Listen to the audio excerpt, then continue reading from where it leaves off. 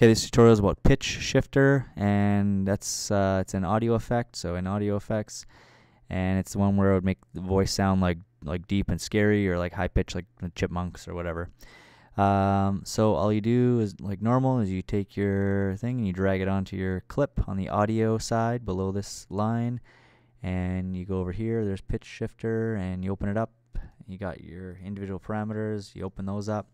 The big one to, to mess with though is this bottom one. Make sure you drag it over to off. And then really this is the one that we're messing with here.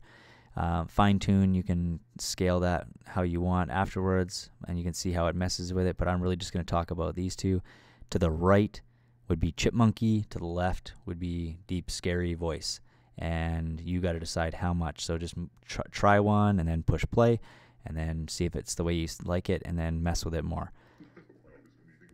So you're not really going to hear it here, but there's that's like somewhat of a deep voice. That's about what I used in a new flow for Mr. Peterson was about right there. And going this way, then you're going to chipmunk it up.